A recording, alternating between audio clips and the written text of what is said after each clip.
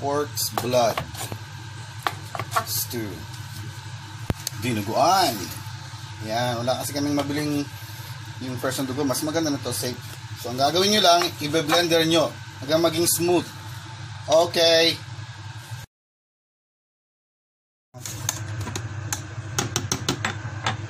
Excuse.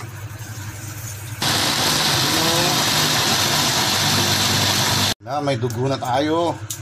Oh, smooth. Pwede na yan. Pork. Siyempre, iniwang pork.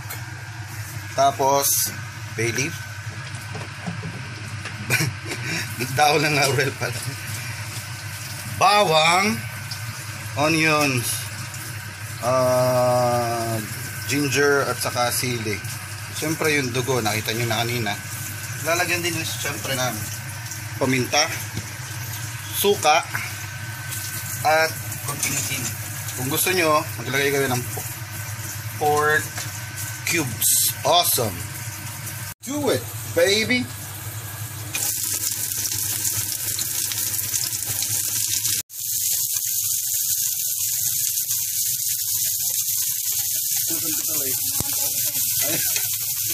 Ay, eh, kalimutan ba? Ayun na, ayun na, ginigisa na. Magsamasamahin. Isa. Luya.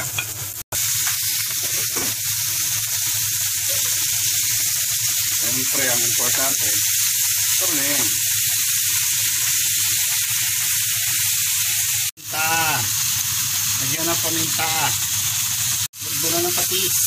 Patis, patis. ng suka. Okay. Sabihin mo lang kung tama na.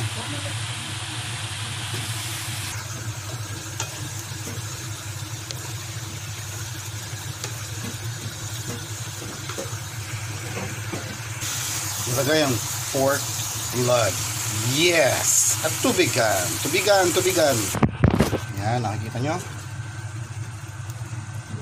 Naluluto na. Simmer na lang ito. Oh! Ay, larad. Charan! Pork, dinuguan. So, ganun lang po sa mga nasa OF, ay mga OFW. Wala kayong mabiling dugo. Bibili kayo ng ano, nasa pack na. Yung parang frozen siya. O, di ba? Ganun din, oh. Sarap. Sisilihan na lang yan. Pakuluan ng konti. Ng matagal. Wow. Dinuguan. Thanks to Lovski. Subscribes pa more. Daming S ng subscribes. Isisimmer lang ng konti. Mga 30 minutes. Ganyan, para malambot yung karne.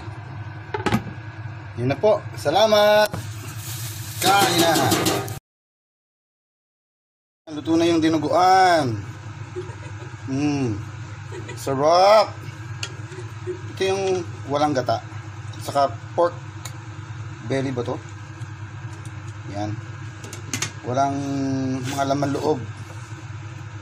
Swabe pa rin yan. The best! Yan na siya!